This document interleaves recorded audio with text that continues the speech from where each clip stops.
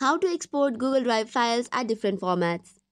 Hey guys, welcome back to the channel. If you want to export the Google Drive's files in different formats, it is possible.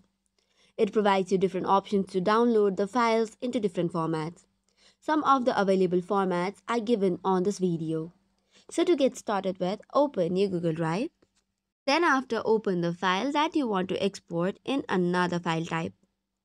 Once you have done so, click on the file option which is on the top left and then click on the download option or the arrow.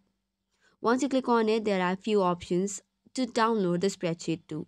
Some of them are .xlsx, .ods, .pdf, .html, .csv and .tsv.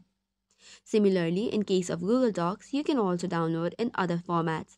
Some of the popular formats available are Docs, OTD, RTF, PDF, text, zip files, and MD as well. So this way you can just tap on it and the file will be exported or downloaded in a different format.